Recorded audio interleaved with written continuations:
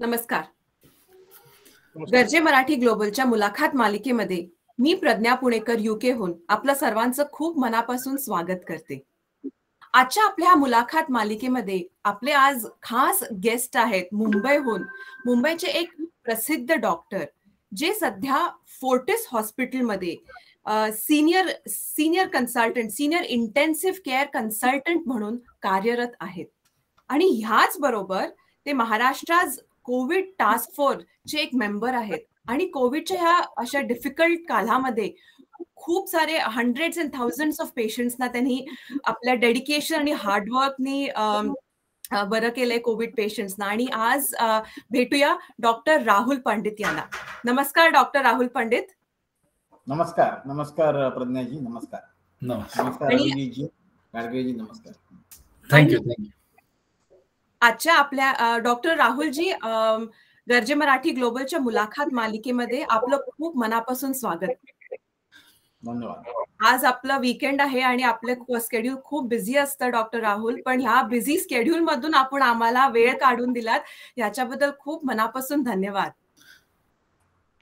No problem it is honour आणि ह्या मुलाखत मालिकेमध्ये आज माझ्या सोबत आहेत रवींद्र गाडगीळजी युके मधून. आणि ह्याच बरोबर आज आपल्यासोबत एक खास खास गेस्ट गेस्ट म्हणजे होस्ट सुद्धा आहेत. एक अजून एक को होस्ट आहेत आमच्या बरोबर अभिजित देशपांडेजी जे मुंबईहून आहेत. तर आम्ही आम्ही सगळे आपलं खूप मनापासून स्वागत करतो डॉक्टर राहुलजी. आपल्यासोबत खूप गप्पा मारायच्यात आम्हाला आपल्या करिअरबद्दल यशस्वी करिअरबद्दल. आपलं ऑस्ट्रेलियामध्ये सुद्धा आपण मास्टर हे आपली डिग्री केली आणि त्याच्यानंतर मुंबईमध्ये इतकं सुंदर काम करत आहेत.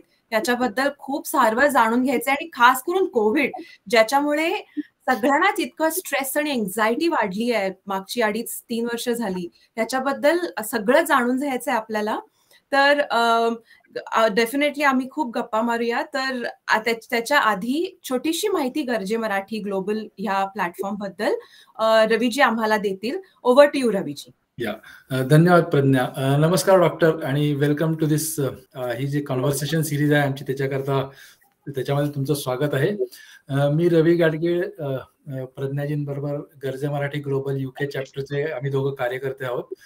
गरजे मराठी ग्लोबल हा जगातल्या मराठी माणसांना एकत्र आणून विचारांचं आदान प्रदान त्यांच्या स्किल्स त्यांचे एक्सपर्टीज त्यांचं अनुभव यांचं आदान प्रदान करून मराठी माणसांना कसं पुढे आणता येईल इस्पेशली आपल्या देशातल्या आणि त्यांचे अनुभव जगातल्या सगळ्यांशी कसे शेअर करता येतील त्याच्याकरता तयार केलेला प्लॅटफॉर्म आहे. आनंदानू हे त्याचे फाउंडर आहेत अमेरिकेत राहतात ते. आणि जगभरात ना आता साधारण हजार लोक जोडली गेलेली आहेत. आणि सांगायला विशेष आनंद होतो की जवळजवळ तीन पद्मविभूषण मराठी लोक आहेत. अविनाश दीक्षित रघुनाथ माशेलकर सर असे यु नो पद्मविभूषण या लेवलचे लोक. आणि हे जे हजार बाराशे लोक जोडले गेले त्यातले आय कॅन टेल यू साधारण पाचशे ते सहाशे लोक हे पीएच डी होल्डर आहेत. म्हणजे they are all you know well to do आणि त्याच्यामध्ये आता आम्ही चालू काय केलं गेल्या तीन चार वर्षात की there are two three programs एक मेंटरशिप प्रोग्राम म्हणून आहे जिथं मराठी माणसांना स्टुडंट्स पण नाहीत. प्रोफेशनल्स पण असतील एंटरप्रिनर्स बिझनेसेस त्यांना गायडिंग वेगवेगळ्या स्किल सेटवर सप्लाय चेन असेल फार्माटेक असेल आर्टिफिशियल इंटेलिजन्स त्याच्यावर आम्ही प्रोग्राम कंडक्ट करतो मेंटरशिपचे त्यांचे इन्क्युबेशन सेंटर आहे ज्याच्यामध्ये परत लोक आपापल्या नवनवीन स्पेशली यंग जनरेशन नवनवीन कल्पना घेऊन येतात आणि त्यांना स्टार्टअपपासून ते ऍक्च्युअल लॉन्च करेपर्यंत त्यांचा प्रवास कसा आणि त्यांना हँड होल्डिंग त्यांना गायडन्स हे करतो. असे विविध उपक्रम आणि ह्याच्यापुरतं लिमिटेड नाहीये.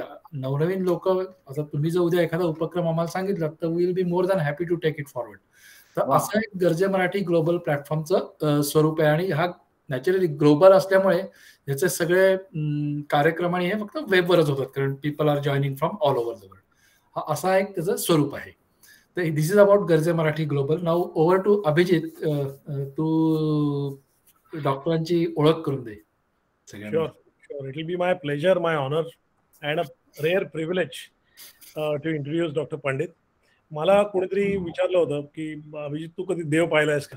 तर मी तर त्यांना कधी मी असं I had always answered in negative and मला आता काल माझ्या मुलीने विचार असं मला म्हटलं की बाबा व्हॉट इज गॉड तुम्ही म्हटलं doctor Pandit you know doctor Pandit right doctor Rahul Pandit he is our god आणि हे मी का म्हणतोय कारण I am a living testimony of recovering from covid and the way the miracle what he did the way he treated me I am forever indebted to him आणि so it's my special honour to introduce you all doctor Pandit So about Dr. Pandit, he is a member of a Supreme Court appointed National Task Force and Maharashtra's COVID Task Force. He has played a crucial role in planning, treating, and containing the spread of coronavirus in, the, in, in, in Maharashtra and especially in Mumbai. Uh, Dr. Pandit is a senior in uh, intensive care consultant with over two decades of experience and is the director of critical care medicine and ICU at Fortis Hospital, Mulund having a prestigious fellowship of Joint Faculty of Intensive Care Medicine Australia, Dr. Pandit plays a leading role in setting up ICU policies, protocols, and patient care algorithms. He has also completed the European Diploma in Intensive Care Medicine, EDIC. Uh, the task force played a key role in establishing a patient management protocol for serious and critically ill patients.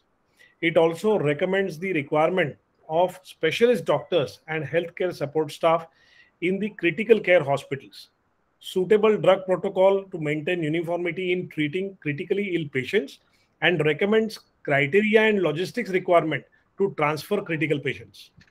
He is also a member of Fortis Medical Council. Dr. Pandit has numerous publications and book chapters to his credit, along with guest lectures in several national and international conferences. His area of interest include critical care, uh, echocardiography, trauma, neurotrauma, of uh, obstetric emergencies in ICU, uh, protomics, and sepsis. Talking about COVID, he keeps it very simple. It is time to go back to basics test, trace, isolate, and treat. That is his uh, mantra. And to tell you few other things of uh, what has not come out of this introduction, just to give a perspective about his depth of what he has done in COVID times. Dr. Pandit has treated over 20,000 COVID positive patients who needed critical care in, uh, intervention through on site, EICU, and televideo consultation modes. And out of that, he has treated more than 8,000 patients in hospital, and out of which 1,400 ICU patients at Fortis Hospital. So, uh, so he is the doctor which who brings an authority and a repository today which I don't think uh, you know very few people, very few doctors uh, globally can bring. So it's a rare, rare honor, Dr. Pandit, to welcome you, and thanks a lot for gracing us today. Abhijit, thank you very much for that uh, introduction. But I would like to just say की आम्ही तुमच्यासारखेच माणसं आहोत हाडा माणसाचे देव अजिबात नाही आहोत आणि while the feeling is uh, is really appreciated, but I must tell you that चुका आमच्याकडून पण होतात. We also are sometimes we also go wrong sometimes but the most important thing त्याच्यातली ही आहे की आपण स्वतःशी जर प्रामाणिक राहिलो आणि प्रामाणिकपणे काम करत राहिलो तर मग सगळं काही व्यवस्थित घडत जातं. चुका सुद्धा ज्या आपल्या आहेत त्या पोटात घालतात लोक. तर तेवढंच फक्त प्रयत्न एक प्रामाणिकपणे करतो की स्वतःशी प्रामाणिक राहून प्रामाणिकपणे काम करावं बस. बाकी काही नाही. Wonderful wonderful thoughts doctor Rahulji आणि Abhijitji thank you so much for the wonderful introduction specifically जे आपण स्टॅटिस्टिक्स दिलात डॉक्टर राहुलजीचं आणि कोविड किती Covid पेशंट्सना twenty thousand is such a such a huge number तर definitely coming beginning with our questions doctor Rahulji of course आता आपलं career इतकं इन्स्पायरिंग आहे. आणि स्पेशली कोविडच्या काळामध्ये आपण जसं अभिजितनी सांगितलं की इतक्या कोविड पेशंट्सना आपण ट्रीट केला आहे तर just want to take you back a little bit थोडंसं आपल्या चाइल्ड आपल्या चाइल्डहुडमध्ये आणि early इयर्समध्ये if you could share some of your early memories आपलं चाइल्डहुड आपले अर्ली मोमेंट्स आणि अकॅडमिक्स आणि एज्युकेशन आणि also if you could share some major memorable moments which have created a big impact on who you are today as one of the most inspiring doctors of India so मी आपलं एक अगदी परत प्रामाणिकपणे सांगतो मी एक normal मीडियॉकर student होतो शाळेमध्ये. अगदी कधी पण पहिला नंबर माझा आलेला मला आठवत नाही शाळेमध्ये. माझा पहिला नंबर डायरेक्टली एम डीत आला दॅट वॉज माय युनिव्हर्सिटीत पहिला येण्याचा चान्स मला एम डी झाला तेव्हा मिळाला. पण शाळेमध्ये मी कायम आपला धक्का मारत नाही पण मध्यम आपला एक स्टुडंट म्हणून कायम शिकायचो. कॉलेजमध्ये पण तसंच त्यानंतर मग मेडिसिन करायला मुंबईत ऍडमिशन मिळत नव्हती. कारण जसं मी म्हटलं की I was not on the top list so मग नागपूरला जायचं का? म्हणजे नागपूर मेडिकल कॉलेज त्यावेळेस मुंबईत एक प्रायव्हेट मेडिकल कॉलेज उघडलं. म्हणून तिकडे मुंबईच्या प्रायव्हेट मेडिकल कॉलेजमध्ये ऍडमिशन घेतली. आणि एमबीबीएस झालो. एमबीबीएस झाल्यावर एम डी करता मात्र ग्रँड मेडिकल कॉलेजला मिळाली ऍडमिशन ते नाही सॉरी त्याच्या आधी एम एस जनरल सर्जरीला मला नायर हॉस्पिटलला मिळाली. नायर हॉस्पिटल जे की बॉम्बे सेंट्रलला एक हॉस्पिटल आहे मोठं म्युन्सिपल हॉस्पिटल म्युन्सिपल हॉस्पिटल आहे मेडिकल कॉलेज आहे टोपीवाला नायर मेडिकल कॉलेज म्हणतात त्याला. आणि मी एम एस जनरल सर्जरीला जॉईन झालो. आणि महिन्याभरात मला कळलं की I will not be a good surgeon मला अजिबात त्याच्यात इंटरेस्ट यायचा नाही.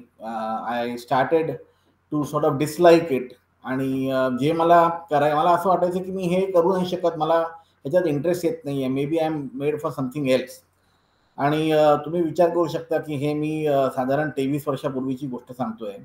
आणि M S general surgery was a big thing. म्हणजे तेव्हा लोकांना मिळायचं नाही.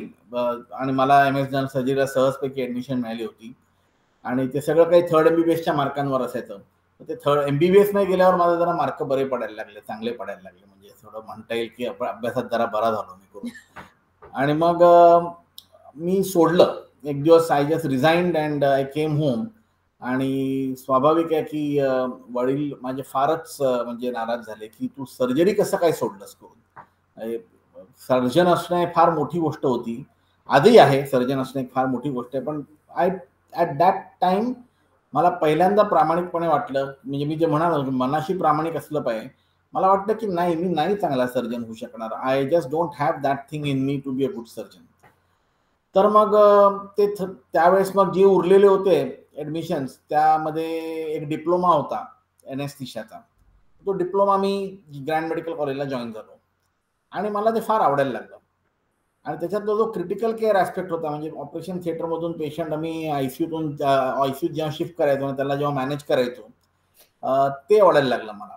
मग मी डिसाइड डिसाईड केलं की ठीक आहे हा डिप्लोमा आता आपण कंटिन्यू करूया एक वर्षभर. पुढच्या वर्षीच्या ऍडमिशनमध्ये सर्जरी मिळाला तर मिडियम एनएससीच्या नक्कीच मिळणार होतं. पण ऑलवेज एनएससीच्या सर्जरीच्या पेक्षा थोड्या कमी मार्कांना जातं. तर मला सहजपैकी एम डी एन एस सीच्या मिळून गेलं त्याच्यानंतर. एम डी एन एस सीच्या जे तीन वर्ष कंप्लीट करत असताना मी साधारण त्यातले दीड वर्ष आय सी यूतच घातले. माझी सुदैवाने ज्या आमच्या पोस्ट ग्रॅज्युएट गाईड होत्या डॉक्टर उपासनी मॅडम त्या सुद्धा यूच्याच इन्चार्ज होत्या. आणि मी आयसीयूत इतका वेळ घालवायला लागलो की बाकीच्या डिपार्टमेंटचे टीचर्स आणि हे म्हणायचे की तू आयसीयूत लोणचं घालणार आहेस का करून त्यावेळेस क्रिटिकल केअर ही एक वेगळी स्पेशालिटी नव्हती. आज सुद्धा एक अनफॉर्च्युनेट दुर्दैव आहे की सायन नायर के एम जे जे या चार मेन मेडिकल कॉलेजेसमध्ये मुंबईच्या आणि बी जे पुण्याचं critical care department is not manage by critical care specialist critical care department हे अजूनही प्रायमरी स्पेशलिस्ट मॅनेज करतात. म्हणजे मेडिसिनचं जर मेडिकल आयसीयू असेल तर मेडिसिनचं डिपार्टमेंट मॅनेज करतं. कार्डिओथोरॅसिक आयसीयू असेल तर कार्डिओथोरॅसिक डिपार्टमेंट मॅनेज करतं. न्यूरोलॉजी आयसीयू असेल तर न्यूरोलॉजिस्ट मॅनेज करतात. वेरॅज तुम्ही आता युकेत आहात आपण ज्या ज्या फॉरवर्ड कंट्रीज आहेत ज्या की आपण ज्याला की डेव्हलप कंट्रीज म्हणतो तिकडे क्रिटिकल केअर स्पेशालिटी ही सेपरेटली डेव्हलप्ड आहे. इंडियामध्ये देखील गेल्या जवळपास सोळा सतरा वर्षापासून क्रिटिकल केअर ही सेपरेट स्पेशालिटी आहे. आणि दोन हजार दहामध्ये मेडिकल काउन्सिल ऑफ इंडियाने क्रिटिकल केअरला एक सुपर स्पेशालिटी म्हणून मान्यता दिली. तर डीएम क्रिटिकल केअर आहे. तो म्हणजे एम डीच्या नंतर you do DN DM critical care किंवा डीएनबी क्रिटिकल केअर तर मग तसं तुम्हाला एम डीचा प्रवास क्रिटिकल केअरमध्ये गेला. आणि तुम्ही जे म्हणालात मला की तुमच्या आयुष्यात एक इन्स्पायरिंग कोण असं काही घटना झाली का? काही व्यक्ती झाली का? मी लिटरली त्यावेळेस सो एम डी करताना सगळेच जण हॉस्पिटलमध्येच राहतात. त्यात काही नवीन नव्हतं. आम्ही सगळेच जण हॉस्टेलमध्ये राहतो. सगळेच डॉक्टर जे आहेत ते तुम्ही कोणालाही विचारलं तर तुम्ही सांगाल की ते जे तीनशे पासष्ट इंटू तीन वर्ष होते साधारण हजार एक दिवस हजार दिवसापैकी वीस पंचवीस दिवस लोक घरी जातात बाकी नऊशे ऐंशी दिवस तिकडेच असतात. मी त्या नऊ हजारपैकी पाचशे दिवस आयसीयूतच होतो. म्हणजे रूमवर पण नाही जायचं. तर अर्ध्याहून जास्ती वेळ मी आयसीयूतच राहायचो. आणि त्याचं कारण एक होतं की त्या ज्या माझ्या ज्या टीचर होत्या डॉक्टर उपासनी त्या स्वतः आयसीयूतच राहायच्या. आयसीयूच्या साईड रूममध्येच रात्री झोपायला यायच्या. त्या कॅम्पसमध्ये राहायच्या. दिवसभर आयसीयूत असायच्या. आणि मग घरी जेवण वगैरे करायला जायच्या. पुन्हा रात्री येऊन आयसीयूत झोपायच्या. मग मॅडम इथे आहेत मग आपण कसं काय रूमवर जाऊन झोपायचं? त्या त्या दृष्टीने मी आपलं आयसीयूतच राहायला लागलो. मी पण आपलं तसंच आंघोळ करायला जायचो रूमवर परत आयसीयू ड्युटीला येतो एन एस टीच्या थिएटरमध्ये पोस्टेड असेल थिएटर करून परत आयसीयूत यायचो आणि she was the she is the one who actually inspired me की डेडिकेशन कसं असावं पेशंट करता? आणि त्यांचं डेडिकेशन काय? त्या एनेस्थेटिस्ट होत्या. पण त्यांनी हा मल्टी स्पेशालिटी आयसीयू चालू करण्याकरता त्यांना चॅलेंज दिला. आणि she took the challenge to the to the extend that she dedicated her entire three four years to that whole unit की त्या घरीच जायच्या नाही आणि म्हणजे त्या त्यांचं ते डेडिकेशन बघून आणि त्या असताना आणि त्या नसताना कामामध्ये कसा फरक पडतो? बाकीचे लोक कसे काम करतात? त्या जेव्हा तिकडे नुसत्या बसून असल्या तरी आणि त्या जेव्हा घरी गेल्या असल्या तरी बाकीच्या लोकांच्या कामामध्ये कसं थोडंफार ढील पडते? हे सगळं ऑब्झर्व करत करत मी शिकलो की इंटेन्सिव्ह केअर स्पेशलिस्ट व्हायचं आहे मला. आणि आपल्याला बेडच्या बाजूला जसा आय व्ही स्टँड उभा असतो तसा आपल्याला तिकडे उभं राहून पेशंटला ट्रीट करायचं The only way to treat is to be at the end of the patient's bed, head end of the patient's bed, and stand there till the patient stabilizes. हे मी त्यांच्याकडून शिकलो मॅडमकडून. आणि she has been one of my most inspiration inspiration ladies she has been the my guru त्यांना त्यांना जे काही येत होतं त्यांनी सगळं काही मला त्या दोन वर्षामध्ये तीन वर्षामध्ये मी त्यांच्याकडून शिकायचा प्रयत्न केला. अजूनही भरपूर शिकायचं आहे त्यांच्याकडून. मला नाही वाटत की एवढं काय आपण शिकू शकलोय करून. पण त्यांनी त्यांच्याकडून पूर्ण प्रयत्न केला. मला कितपत आलं मला माहीत नाही. पण त्यांच्याकडून त्यांनी पूर्ण प्रयत्न केला की मी शिकावं करून. सो तसा माझा मग क्रिटिकल केअरचा प्रवास झाला. त्यानंतर मग एम डी झाल्यावर मी लगेचच मला कोणी म्हणजे मॅडम जरी होत्या तरी असं काही ब्रॉड जाण्याकरता गॉडफादर नव्हता. कारण त्यावेळेस तुम्ही म्हणाल की मी तुम्हाला जसं म्हटलं की क्रिटिकल केअरमध्ये काही स्पेशलायझेशन इकडे नव्हतं कुठे इंडियामध्ये nothing was there critical care specialist ओळखले पण नाही जायचे. इनफॅक्ट जॉब्स पण नव्हते तसे. तर मग मी ठरवलं की आपण युके किंवा ऑस्ट्रेलियात जायचं करू. मग मी बऱ्याच जागी ईमेल्स पाठवले. कम्प्युटर येत नव्हता तर त्या सायबर कॅफेत जायचो. त्याच्या कोणाकडे बसून ईमेल ईमेल ओपन केला. ईमेल पण नव्हता माझ्याकडे तेव्हा. याहूचा ईमेल ओपन केला एक. याहू ईमेलवरून ईमेल करायला शिकलो कसा ईमेल करायचा. दोन चार लोकांना पाच दहा लोकांना ईमेल केला. तर आठवत नाही मला किती. पण मला दोन तीन जॉब झाले दोन जॉब झाले युके वरून दोन जॉब झाले ऑस्ट्रेलियावरून. युकेचे जॉब्स होते S H O senior house officer आणि ऑस्ट्रेलियावरचे जॉब्स होते डायरेक्ट सिनियर रजिस्ट्रार ते हायरार्कीमध्ये हाऊस ऑफिसर हा सगळ्यात लोअर रंग असतो आणि रजिस्ट्रार हा बऱ्यापैकी मध्ये साधारण असतो. म्हणजे इन टर्म्स ऑफ एज्युकेशनल हे. तर मी म्हटलं नाही आपण ऑस्ट्रेलियाचं बघूया. ऑस्ट्रेलिया जरा जास्ती चांगलं वाटतं. कारण ऑस्ट्रेलियामध्ये ऑलरेडी क्रिटिकल केअर ही एस्टॅब्लिश स्पेशालिटी होती. युकेमध्ये it use to come under the gambit of anaesthesia आत्ता कुठे एक चौदा पंधरा वर्षापासून युकेनी एक separate intensive care within anaesthesia एक त्यांनी वेगळे डिपार्टमेंट केलंय. आणि बरेचसे लोक अजूनही युकेमध्ये एनेस्थिशा आणि इंटेन्सिव्ह केअर ड्युएल प्रॅक्टिस करतात. अर्थात आता काला काळामध्ये बरेच लोक नुसती सिंगल स्पेशालिटी करणारे लोक पण आहेत. मग ऑस्ट्रेलियात सुद्धा कुठे जायचं? काहीच माहिती नव्हतं. बघितलं मॅप बघितला ते ऑफर बघितली. एक ऑफर होती न्यू कासल हॉस्पिटलमधून आता ते नाव ऑस्ट्रेलियाचे सगळे युके सारखेच आहेत न्यू कासल म्हणून दुसरी होती सिड दुसरी होती नेपियन हॉस्पिटलमधून मी बघितलं नेपियन वॉज इन सिडनी आणि Newcastle was around hour and half to away two hours away from Sydney मी म्हटलं नको आपण सिडनीतच जाऊया. मग नेपियनला घेतली मी मी ऑफर एक्सेप्ट केली. तिकडे गेल्यावर कळलं की न्यू कासलचं हॉस्पिटल जे होतं ते नेपियनपेक्षा तिप्पट मोठं होतं. ऍक्च्युली बेटर जॉब होता तो करून पण डझंट मॅटर कारण इथे जे मी शिकलो इथे the Nepean hospital was the only hospital at that time in the entire Asia Pacific which was specialising in in I C U echocardiography so being a non cardiologist also I have full complete training of echocardiography आणि we do that in our day to day practice in I C U here तर तसा माझा प्रवास हा सुरुवातीचा intensive केअरमध्ये ऑस्ट्रेलियाला गेल्यावर मग खरा इंटेन्सिव्ह केअर ट्रेनिंग चालू झालं. Perfect perfect very very inspiring specially doctor what I realise is की तुम्ही मॉडेस्टली जसं सांगितलं की सुरुवातीची वर्ष शाळेची जरी अतिशय प्रतिथ प्रतिथशील नसली तरी पण पुढे स्वतःशी प्रामाणिक राहून आणि जे आपल्याला करायचंय आपल्याला कितपत येतंय ह्याच्याशी प्रामाणिक राहून तुम्ही जो प्रवास चालू ठेवला तो भयंकरच इन्स्पायरिंग होता आम्हाला. म्हणजे की ध्येय सोडायचं नाही. तुम्हाला नक्की माहिती होतं. जसं तुम्ही सांगितलं की सर्जरी सोडून तुम्ही एमडी कडे गेलात विच वॉज बिग थिंग त्यावेळेला खूपच मोठी गोष्ट होती. आता आता तुम्ही हे शिक्षणाचा झाला. आता करिअर जर्नी जेव्हा चालू झाला तुमचा आणि त्या आतापर्यंतचा जो तुमचा प्रवास होता ह्याच्यातले तुमचे काही major milestone start from you know तुम्ही ऑस्ट्रेलियाला गेलात आणि ते आतापर्यंतच्या ह्याच्यात तुमचे काय मेजर माइलस्टोन्स होते किंवा काही काही महत्त्वाचे बदल घडले तुमच्या करिअरमध्ये आणि त्या ह्याच्यामध्ये पण काय चॅलेंजेस होते तुम्हाला? ह्याच्याबद्दल जाणून घ्यायला आम्हाला आवडेल खूप. जरूर सो ऑस्ट्रेलियाला मी दोन हजार दोन दोन हजार तीन साली गेलो. आणि त्यावेळेस मी नेपियनला जॉईन झालो. मग तिकडे गेलो. या दृष्टिकोनातून गेलो होतो की आपण एक दोन वर्ष करून ट्रेनिंग करून यायचं करून काहीच माहिती नव्हतं कारण लिटरली मी तुम्हाला असं म्हटलं मी ईमेल त्याच्या चार महिन्या अगोदर पहिल्यांदा ईमेल मी अकाउंट ओपन केलं होतं. I had no idea what was going on so तिकडे गेल्यावर असे दोन तीन लोकांशी बोलता बोलता एक दिवस कोणी म्हणाले तू ट्रेनिंग प्रोग्रामला का नाही जॉईन हो तिकडे मी म्हटलं कॅन आय म्हणजे I am not a citizen I am not a resident I am not anything I am just on a on a visa work visa yeah we are open we need people so ठीक आहे म्हटलं मी म्हटलं चालेल मग काय करायचं? तर म्हणे मेलबर्नला कॉलेज आहे म्हणजे जसं तुमचं रॉयल कॉलेज ऑफ सर्जन्स युकेला आहे तसं ऑस्ट्रेलियाचं College of Intensive Care Medicine मेलबर्नला आहे. म्हटलं ठीक आहे एका विकेंडला मी माझ्या मिसेसला म्हटलं आपण एक दोन चार दिवस फिरायला जाऊया मेलबर्नला जाऊया. मंडेला जाऊन कॉलेजला भेटूया बघूया तरी काय करतात करून काय म्हणतात करून.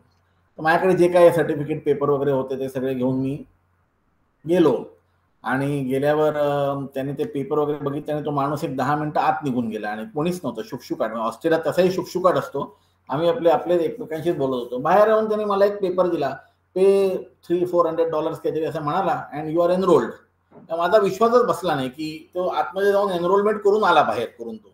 आणि काही मला सांगितलं नाही म्हटलं इज इट दॅट इझी बोला yeah no you you fulfil the criteria the only thing I need from you is you get a certified copy of your M D curriculum from India and we will attach that to your file would be it and then you need to do so do so many years in I C U so many years in medicine कारण ऑस्ट्रेलियाचा programme पूर्ण comprehensive आहे म्हणजे intensive care training करताना तुम्ही medicine पण करता एनएससीच्या पण करता आणि आय सी यू पण करता तर एनएससीचा भाग माझा पूर्ण एक्झाम झाला होता कारण मी एनएससीच्या ट्रेनिंग होतं म्हणून. मेडिसिनचा काही भाग करायला सांगितलं आणि आयसीयूचं कोर ट्रेनिंग करायला सांगितलं. अरे वा फारच चांगलं म्हणजे इतकं सोपं सिस्टम असते काही मला कळायला मार्गच नव्हता. पण ते जे साईन डॉक्युमेंट जे पाहिजे होतं करिक्युलमचं ते मिळवणं त्याच्यापेक्षा कठीण होतं. पण ते मिळालं कसं बसं ते परत आमच्या मॅडमना सांगितलं. युनिव्हर्सिटीत काही असं करिक्युलम लिहिलेलंच नव्हतं कुठे त्यावेळेस. सो वेबसाईट तर नव्हतीच युनिव्हर्सिटीची काही. मग त्यांनीच एक करिक्युलम डीन बरोबर बसून बनवला की आपण हे हे मुलांना शिकवतो. मग डीनच्या सहीने ते पाठवलं आणि ते मी सबमिट केलं. आणि ते जवळपास त्याच्यानंतर जवळपास दहा एक वर्ष ऑस्ट्रेलियामधून जे इंडियामधून जे कोणी एन एस सीच्या ट्रेनिंग मुंबईतून येत होते त्यांना ते हे तुमचं करिक्युलम आहे का म्हणून विचारत असत ते लोक. आणि त्याला ते मुलं आपले हो म्हणून सांगायचे आणि ते एक्सेप्ट करायचे. तर ते तसं झालं. मग मी I within three years I was a consultant in Australia so पटकन दोन वर्षाचं ट्रेनिंग तीन वर्षाचं आयसीयूचं ट्रेनिंग झालं सहा महिने मेडिसिन झाले. I became a consultant in Australia and I started my first job as a consultant cum echo fellow आणि that was the first thing आणि the opportunities were really good we uh, there weren't many uh, intensive care trainees there. There weren't many intensivists there. Uh, the कंट्रीला सुद्धा गरज होती त्यावेळेस intensive care डॉक्टर्सची फार पटकन I was again picked up to be a deputy director in a unit आणि तिकडे मग मोठ्या युनिटमध्ये एका टर्शरी लेवल आय सी मी शिफ्ट झालो. तिकडे ट्रेनिंग टीचिंग पेपर पब्लिकेशन ह्याच्यामध्ये सगळं काही पटकन देवाच्या कृपेने नाव पण झालं. आणि त्याच दरम्यान I lost my dad so मनात विचार होताच की कधीतरी भारतात परत जायचं करून. मग तो विचार जरा इम्प्लिमेंट करायला चालू केला की आता नाही आता परत जायला पाहिजे करून. तरी तो सगळं करून येतपर्यंत वर्ष गेलं साधारण म्हणजे एक वर्षाच्या पुढे लागलं मला सगळं. बिकॉज आय दहा जवळपास नऊ दहा वर्ष राहिल्यावर ऑलमोस्ट सेटल झाल्यासारखंच होतं म्हणजे घर होतं सगळं काहीच होतं. तर ते सगळं काही गुंडाळून येण्याकरता बराच बरेच दिवस गेले. आणि त्यावेळेस I was head hunted to sort of join hospital called Seven Hills hospital in Mumbai Seven Hills just चालू होत होतं त्यावेळेस. सेव्हन एल्सला जॉईन झाल्यावर तिकडून चॅलेंजेस चालू झाले. ऑस्ट्रेलियामध्ये ॲक्च्युली चॅलेंजिंग काही असं फार नव्हतं. म्हणजे apart from culturally different culture different असल्यामुळे मी आपलं टी टॉटलर असल्यामुळे मी व्हेजिटेरियन असल्यामुळे जे काय ते चॅलेंजेस आले ते पर्सनल फ्रंटचे वेगळे. पण professionally in fact they were actually kind enough to keep my job for a year saying that we will just appoint a locum person if you do wish to come back just let us know by the end of eleventh month we will be happy for you to join back करून इथपर्यंत म्हणजे ते लोक accommodative होते. ते really wanted मी back मग मी नाही म्हटल्यावर त्यांनी मला दोन आठवडे तरी ये बाबा. म्हणून आज दहा वर्ष झाले मी दोन आठवडे जाऊन तिकडे काम करून येतो. असं चालू आहे सध्या. मग इथे आल्यावर इथे आल्यावर डिफरंट शॉप होता. म्हणजे तिकडे जसं इंटेन्सिव्ह केअर हे एक्सेप्टेड फिनॉमिना होता. इथे असा अजिबात नव्हता. इथे अजून सुद्धा लोक पंचवीस वर्ष मागे असल्यासारखेच बोलत होते की इंटेन्सिव्ह काय? मग पहिलं तर अथॉरिटी स्थापित करण्यापेक्षा त्यांना सेन्सिटाईज करणं गरजेचं होतं की इंटेन्सिव्ह केअर कन्सल्टंट काय करतो? How does it make your patients better to be looked after by a intensivist rather than by a primary physician मग ते सेवन हिल्स काही फार overall hospital had a lot of problems so मग we moved I move to Fortis where I am दीड एक वर्षात मी इथे फोर्टीसला आलो. दोन हजार बारा पासून मी इथे आहे. आणि same challenges were carried to Fortis also पण सुदैवाने म्हणजे मी काय म्हणतो की हॉस्पिटलची जी किती मोठं तुम्ही five star hospital literally Seven Hills is like a five star hospital don't know तुम्हाला बघायला कधी वेळ चान्स मिळाला आहे का? पण एवढं मोठं हॉस्पिटल भारतामध्ये अजून कुठलंच नाही आहे जेवढं सेव्हन हिल्सचं इन्फ्रास्ट्रक्चर आहे. आणि लिटरली म्हणजे कॉरिडोर्समध्ये यू हॅव फाउंटन्स आणि everything is just like a seven star hotel पण शेवटी हॉस्पिटलची शोभा ही पेशंट्सनी येते. कुठल्याही कारंजाने किंवा लाइटिंगनी येत नाही. पेशंट असतील तर हॉस्पिटल असतं नाही तर काहीच हॉस्पिटल अर्थ नसतो. मग इथे आमचं हॉस्पिटल हे फोर्टीस हॉस्पिटल त्या मनाने छोटं होतं. कुठे पंधराशे बेडचं सेवन हिल्स आणि हे तीनशे बेडचं हॉस्पिटल आमचं फोर्टीस पण पेशंट्स होते आणि त्यामुळे आउटकम्स दिसायला लागले लोकांना. आणि आज गेले नऊ दहा वर्ष जे आम्ही आहोत इथे ह्याच्यात सध्या परिस्थिती अशी झाली आहे गेल्या दोन तीन वर्षामध्ये चार वर्षामध्ये साधारण की we run a closed ICU literally closed ICU म्हणजे एकदा पेशंट आयसीयूत आला की completely manage by our team तर प्रायमरी टीम फक्त येऊन पेशंटशी भेटतात बोलतात नातेवाईकांशी आणि सांगतात तुम्ही मॅनेज करा. तुम्ही बघा as treatment as per ICU करून. So which is what we way are doing in Australia which is what people do in U K or or America तर सध्या चॅलेंजेस जे इकडे वेगळे आहेत इथे कॉस्ट कॉस्ट कॉन्शियसनेस खूप आहे. सगळ्या गोष्टी अवेलेबल आहेत. म्हणजे लिटरली आज तुम्ही युकेच्या हॉस्पिटलमध्ये जे करू शकाल ते मी या हॉस्पिटलमध्ये करू शकतो. पण अल्टिमेटली पेशंटला कॉस्ट भरावी लागते किंवा इन्शुरन्स असेल तर कॉस्ट भरतं. So that is a big difference आणि एन एच एसची system is the same as Medicare Australia म्हणजे you can stand at the end of the bed आणि ask a patient to be flown from this hospital to other hospital via helicopter taxi आणि कोणी तुम्हाला विचारणार नाही. ॲम्ब्युलन्सच्या ऐवजी तुम्ही ते लिटरली हेलिकॉप्टरने फ्लाय करू शकता एका जागून दुसऱ्या जागेला. काही प्रॉब्लेम येत नाही.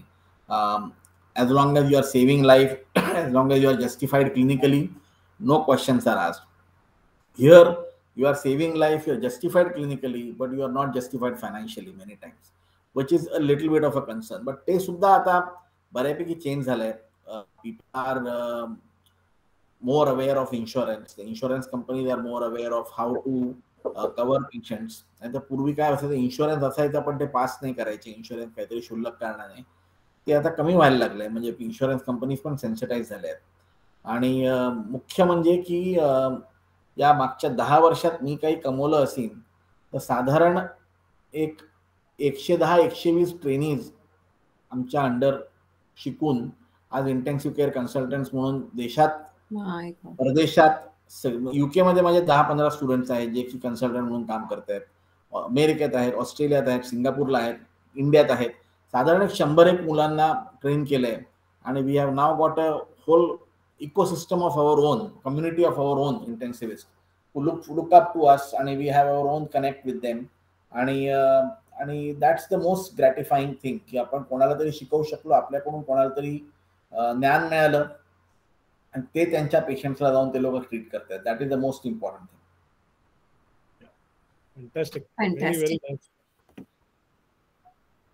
unbelievable मला एक जस्ट एक सपोर्टिंग प्रश्न असा विचारायचा होता. Since you have been in Australia आणि तुम्ही तिकडची एक खूप ॲडव्हान्स्ड अशी एक हेल्थ केअर प्रॅक्टिस तुम्ही तिथे लीड केली in terms of from a point of view of a intensivist जेव्हा तुम्ही इथे इंडियात आलात तेव्हा could you bring any practices from Australia to India and now vice a versa from India to Australia? Have you, uh, you know, what new uh, uh, you have? Because I know for sure, and this is for our audience also in COVID times, six minute walk test जी आपल्या सगळ्यांना माहिती आहे it become a global phenomena now it has been pioneered by doctor Pandit so so something uh, such a revolutionary thing you have done तर intensive care युनिटच्या अनुषंगाने तुम्ही काही असे काही अनेक्टोटल काही आम्हाला सांगू शकाल So uh, when I came back,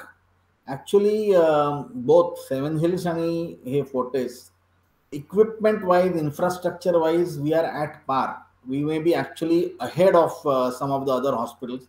And being a private setup, uh, there is always a cutting edge, uh, cutthroat competition within the other competitors. So hospitals always have the best of the equipment here. That काही वाद नाही आहे processes मात्र mature नाही आहेत that is the problem. So me, i i implemented the processes in the icu which is what made the big difference. Uh, infrastructure implement करायची गरज नव्हती इक्विपमेंट इम्प्लिमेंट करायची गरज नव्हती प्रोसेसेस इम्प्लिमेंट करायला लागत होत्या. आणि बऱ्याचशा गोष्टी ज्या की इथल्या इंटेन्सिव्ह केअर वाल्यांना वाटायच्या की आपल्या गॅम्बिटमध्येच नाही आहेत. त्या अचानक त्यांना कळायला लागलं की हे सगळं आपणच करतो करून. उदाहरणार्थ आता आयसीयू पेशंट असेल तर ब्रॉन्कोस्कोपी आम्हीच करतो ट्रॅक्टॉस्टॉमी आम्हीच करतो. नाही तर नुसतं पहिले मी जेव्हा परत आलो तेव्हा इंटेन्सिव्ह इंटेन्सिव्ह केअर डॉक्टर म्हणजे व्हेंटिलेटर बघेल लाईन्स घालेल ब्लड प्रेशरचं थोडं मॉनिटरिंग करेल बाकी सगळं काही बाकी वेगळे जण करतील. That that complete revolutionary change आलाय त्याच्यामध्ये. पण मी अजूनही सांगू शक सांगतो मुंबईमधले तुम्ही जर दहा बारा मोठे हॉस्पिटल बघितले तर फक्त आमच्याकडे आणि अजून एखाद्या हॉस्पिटलमध्ये असं आयसीयूची प्रॅक्टिस होते. बाकी majority of them are still practising the way they were practicing before. They have not changed. And that is the unfortunate uh, reality. Indian Society of Critical Care मेडिसिनचा मी व्हाईस प्रेसिडेंट होतो uh, दहा हजार member आहेत uh, दहा आता अकरा बारा झाले असतील म्हणा uh, त्यांच्याशी जरी म्हटलं तर देशामध्ये एक आम्ही दहा बारा लोक असू ज्यांची की अशी क्लोज आयसीयू मध्ये प्रॅक्टिस होते generally most of them are still practising as proceduralist not as intensivist so they are very good in procedures but they are not really able to apply the entire subset of their skills on patients. त्यानंतर तुम्ही म्हणालात की वायसा वर्षा वायसा वर्षा खूप शिकायला मिळतं. तिकडे जातो ना की म्हणजे दे आर अमेस्ट तुम्ही जसं म्हणालात वीस हजार पेशंट म्हणजे मी ऑस्ट्रेलियात जाऊन किंवा युके जाऊन म्हटलं वीस हजार पेशंट इम्पॉसिबल आहे एखाद्या डॉक्टर मी इकडे सोळा सोळा तास म्हणजे आता वी आर रेकॉर्डिंग दिस पण सेकंड वेव्हमध्ये पन्नास पन्नास पेशंट एकत्र व्हायचे दिल्लीमध्ये. आणि झूम कॉल करायचे. सगळ्या सगळ्यांना सेम सिमटम्स असलेले. त्यांच्याकडे डॉक्टर्सच नव्हते बघायला. पन्नास पेशंटचे ॲट अ टाइम ट्रीटमेंट करायला लागायचं की तुम्हाला काय सिमटम्स आहेत? सगळ्यांना कोणाकोणाला खोकला आहे? कोणाकोणाला सर्दी आहे? कोणा मग पॅरासिटामॉल घ्या. नाही तुम्ही सिक्स मिनिट वॉक टेस्ट कोणाचं सॅच्युरेशन कमी आहे? नाही तुम्ही हॉस्पिटलला जायलाच पाहिजे. तुम्ही घरी थांबू नाही शकत. हे असे सेशन्स बऱ्याच डॉक्टरांना आम्हाला करायला लागले त्यावेळेस.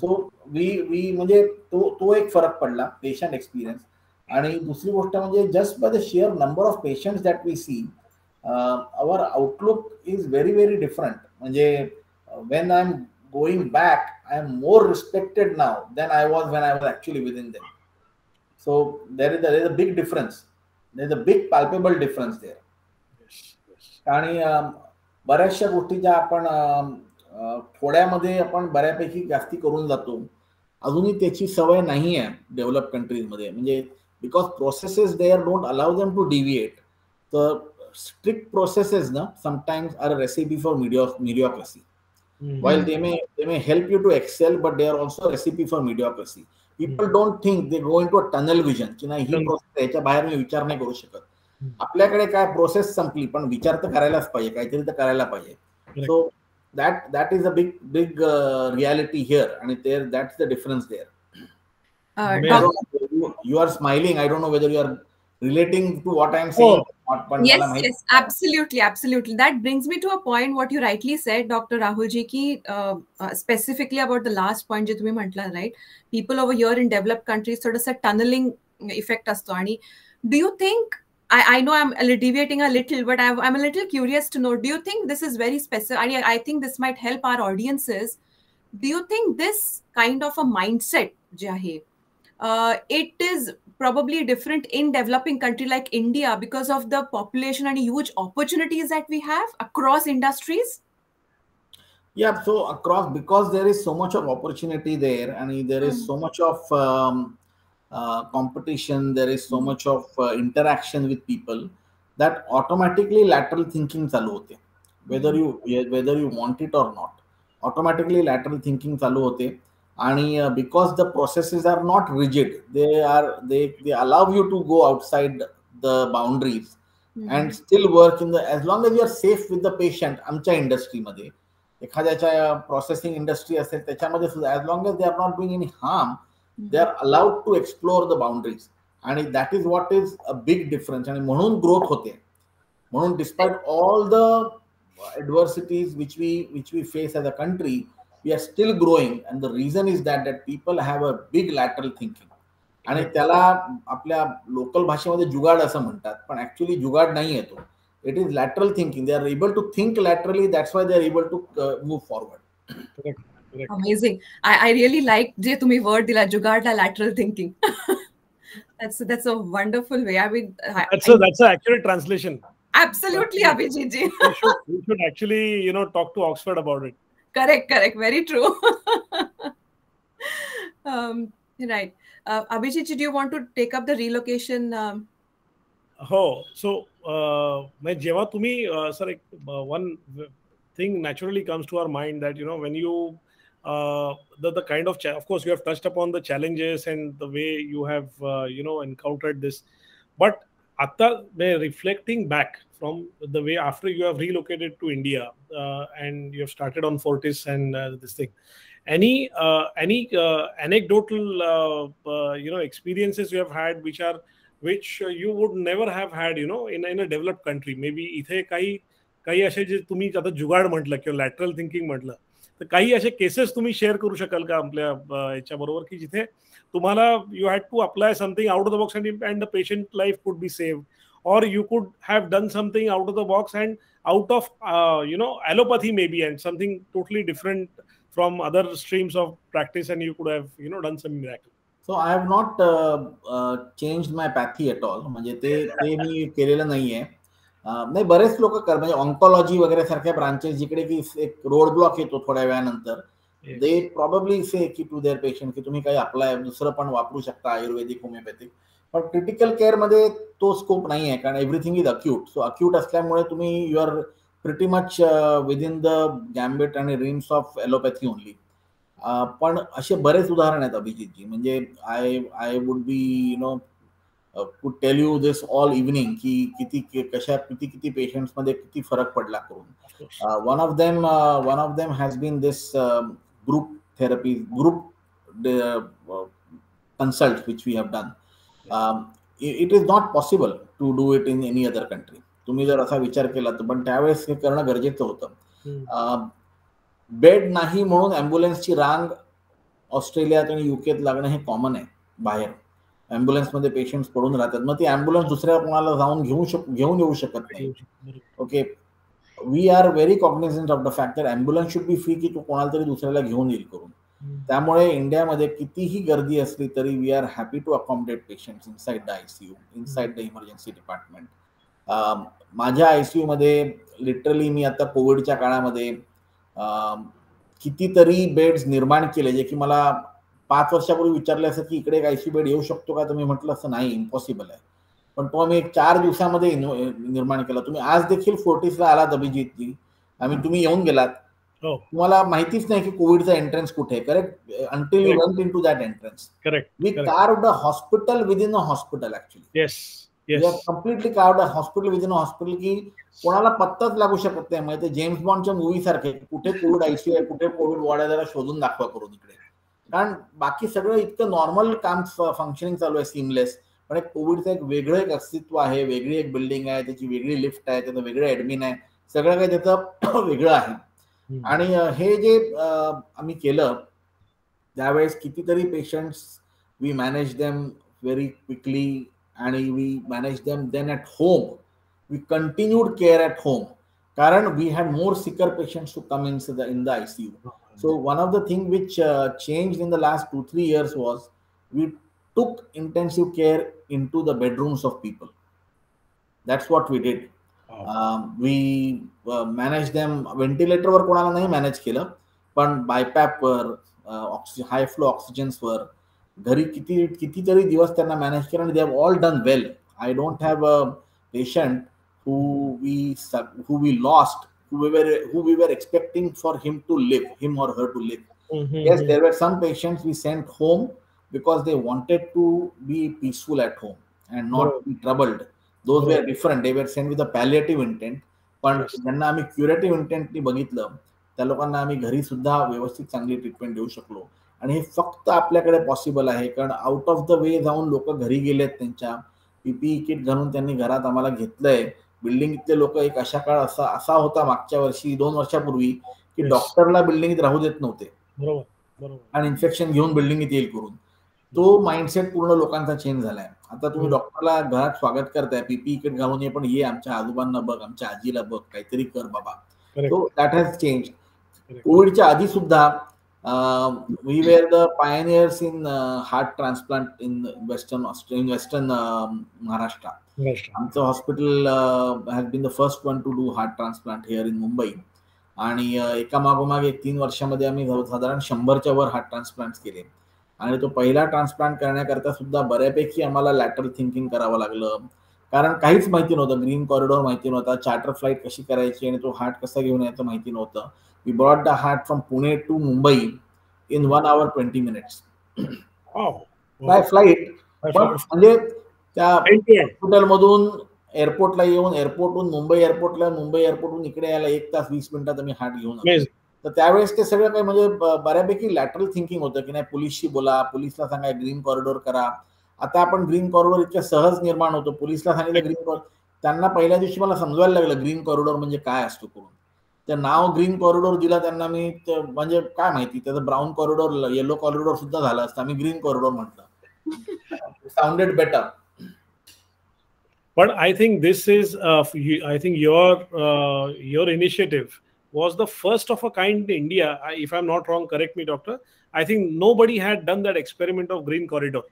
I think that was uh, transplant and uh, uh, uh, a, a, surgery to be done you know taking a cadaver heart out and then you know chennai chennai मध्ये तामिळनाडू मध्ये होत होतं होत होतं ऑर्गनाइज पद्धतीत होत नव्हतं राईट राईट नंतर आहे ना दोन सिनेमे निघाले त्याच्यावर एक ट्रॅफिक नावाचा सिनेमा होता आणि दुसरा मी आता विसरलो काय सिनेमाचं नाव होतं दोघेही काय फार चालले नाही सिनेमे पण त्या दोघांमध्ये ग्रीन ग्रीन कॉरिडोर वगैरे दाखवण्यात आलं होतं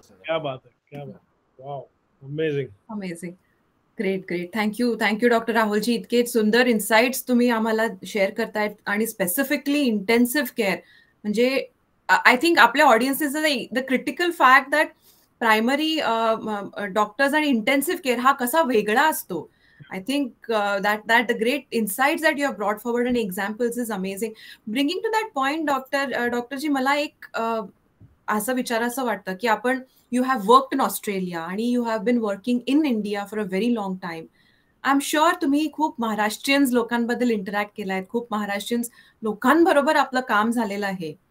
तर आणि given our Maharashtrian background right we are very well known for academics PhDs Maharashtrian लोक असे स्पेशली अकॅडमिक ह्या एरियामध्ये खूप एक्सेल करतो आपण right when it comes to entrepreneurship of course आता जसं ट्वेंटी इयर्स बॅक होतं तेव्हापासून the the world has change very much but specifically talking about Maharashtrian community do you feel की ॲज अ महाराष्ट्रीयन्स आम्ही कुठेतरी आंतरप्रिनरशिप माइंडसेट किंवा entrepreneurial skills do we you do feel we lack somewhere specifically when it comes to risk taking. And i think it is changing like i said.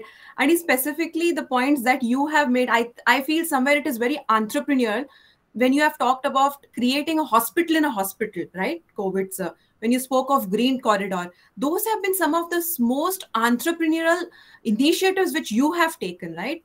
You are working with fortis but these are some of the things. Sir if you could just throw some light of what is a mindset shift? Is it changing? Has it changed? Not changed? It is definitely changing प्रज्ञाजी आणि uh, मी सांगतो पुन्हा प्रत्येक doctor आहे ना मुंबईतला भारतातला तर काही ना काही प्रमाणामध्ये ऑन्टरप्रनर आहे. त्याला स्वतः ते क्लिनिक असतं त्याला स्वतःने एम्प्लॉय केलेले दोन चार लोक असतात. ते फक्त ओळखत नाहीत की ते ऑन्टरप्रेनरशिप करतात करून. That is the big problem so ते त्यांच्यापुरतं एक त्यांच्या त्या चौकटीत काम करत राहतात पन्नास शंभर दोनशे. पेशंटची काही कमी नसते. Generally most doctors do do reasonably well because we have such a big population so patients keep on coming to good doctors म्हणजे महाराष्ट्रीयन लोक आपले जे छोटं हॉस्पिटल असेल किंवा मोठं आमच्यासारखे मोठ्या हॉस्पिटलमध्ये काम करणारे असतील तर एक ऑन्टरप्रेनरशिप मुळात आहे पण ती कशी बाहेर आणायची आणि ती कशी त्याला एक मार्ग द्यायचा हे नाही कळत. मी माझं उदाहरण देतो तुम्हाला पुन्हा. I am I am very open म्हणजे मला काही प्रॉब्लेम नाही आहे फेलियर सांगायला सुद्धा. I have a air ambulance project okay air ambulance project which will be able to provide people from India to rural India to fly to urban India for seeking medical help in a emergency at a fraction of a cost दहा हजार रुपयामध्ये yearly membership okay and we will fly you free if you require to be flown. And it is a very successful model based on the swiss model where switzerland same त्यांची गव्हर्मेंटची flying service आहे which collects again I think hundred to hundred francs काहीतरी त्याकडे collect करायचे ते लोक आणि they have a repatriation all across the world for them त्या मॉडेलवर आम्ही एक मॉडेल बेस केलं होतं ओके मला अजून त्याला फंडिंग घेता आलेलं नाही आहे कारण मला कळतच नाही कसं फंडिंगला अप्रोच करायचं. तुम्ही कोण ओळख ओळख असेल तुमची तर मला सांगा कसं करायचं करून we will I be more than glad to do that पण असे माझ्यासारखे विचार करणारे बरेच लोक आहेत. कोणाला हॉस्पिटल काढायचंय कोणाला दुसरं काही करायचंय. They are not able to understand की हे ऑन्टरप्रेनरशिप ॲक्च्युली इम्प्लिमेंट कशी करायची. आणि मला असं मुळात वाटतं की आपण सगळ्यांमध्ये एक ऑन्टरप्रेनर आहे. मराठी माणसामध्ये ऑन्टरप्रेनर आहे पण तो इतका कम्फर्टेबल होतो एखाद्या जॉबमध्ये किंवा एखाद्या